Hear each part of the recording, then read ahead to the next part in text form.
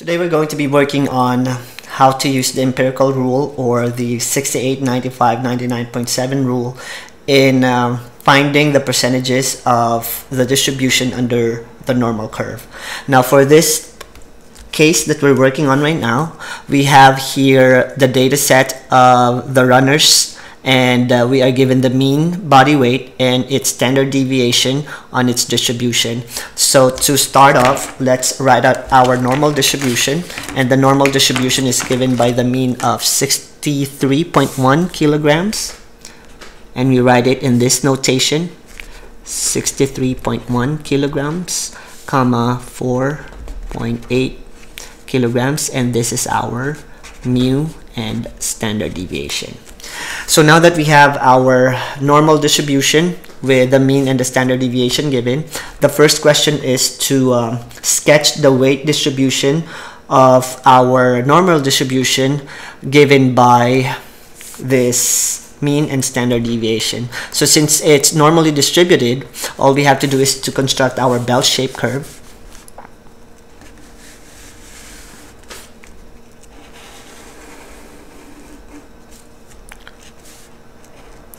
and this is our bell-shaped curve and we know that at the center is going to be our mean which is 63.1 this is 63.1 and we need to produce the three standard deviation away from the mean. So we have here one two three standard deviation.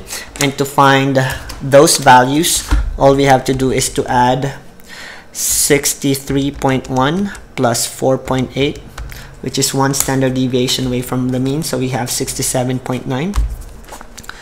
67.9 and then we add another 4.8 and it will give us 72.7 and then another 4.8 which is 77.5 so this is our distribution to the left of the curve from 63.1 and to the right of the curve all we have to do is from 63.1 we will subtract 4.8 so we can find the distribution to the other side of the curve and it will give us 58.3 so we have one two three standard deviation away from the mean and we will start with 58.3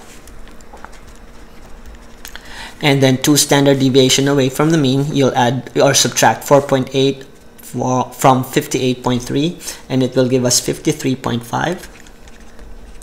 and then another standard deviation minus 4.8 is 48.7 so this is now our distribution of our uh, runners or their weight um, distribution. And we know that in the rule the first standard deviation away from the mean is going to give us the 68% of the distribution. So this one is 68%. And the two standard deviation away from the mean will give us 95%. And from here to here, we'll have 99.7%. So this is our empirical rule, also known as the 68, 95, and 99.7 rule. So this is what we're going to be using in answering our distribution. So this is our first distribution, the second, and the third. And we're just going to use simple algebra in solving the area under the curve using our empirical rule. So for the first problem, we're supposed to find the proportion of runners whose body weight is between 48.7 and 67.9 kilograms. So our notation is going to be x in between 48.7 and 67.9 and we know that 48.7 is here and it's corresponding to 99.7% from here to the third standard deviation and 67.9 is somewhere here which corresponds to the 68% distribution.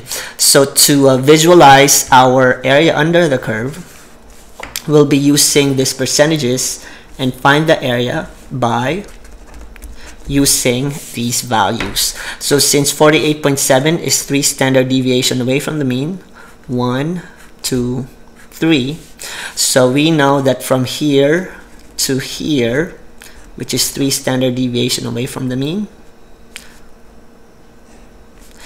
is 99.7 but since we only need this part of our area so what we're going to do is take half of 99.7 and we'll be able to find the area from here which is 48.7 up until 63.1 so half of 99.7 using our calculator is 49.85 so that's our area from 48.7 up until the mean which is 63.1 we just need to find 67.9 and 67.9 corresponds to the first standard deviation. So this one is what we need. And to find that, since we know that it's just 68% from here to here, but we only need half of it, so we're going to take half of 68%. And half of 68% is 34. So to find the area from here to here, we're just going to add this to distribution. And 49.85 plus 34 is going to give us 83.85 so this is the area between 48.7 and 67.9 83.85 percent so that is the percentage of runners whose weight is in between 48.7 and 67.9 using our empirical rule. Now for the second problem, we need to find the proportion of runners whose body weight is above 72.7 kilograms. So 72.7 kilograms corresponds to 95%. So what we're going to do is we're going to write our notation. We're looking for the proportion of runners whose weight is above 72.7 and our curve will help us identify that proportion. So we know that this is our 50% and we have 1 2 for 72.7 1 2 standard deviation away from the mean.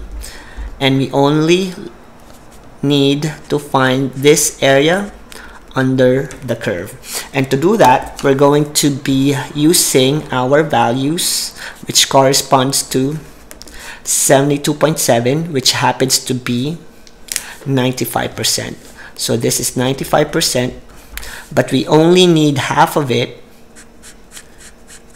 So we can take this area or find this area and then take the complement of it from 50%. So we'll be able to find this. So half of 95% in our calculator it will give us 47.5 so this we know is 47.5 and to find this area we will subtract 50 and 47.5 so we'll be able to find the difference. And the difference is going to be the area that we are looking for. And 50 minus 47.5 is 2.5 percent. So the area or the proportion of runners that is greater than 72.7 kilograms is 2.5 percent Now we're going to be working on letter D and on letter D we're working on the percentages of runners who falls within 58.3 kilograms and 72.7 kilograms. And 58.3 kilograms corresponds to one standard deviation away from the mean and 72.7 is two standard deviation away from the mean. So the percentages that we're working on uh, are the um, weight of the runners in between 58.3 and 72.7 so in our distribution this is 50% and one standard deviation away from the mean is 58.3 so what we need to do is to get half of 68%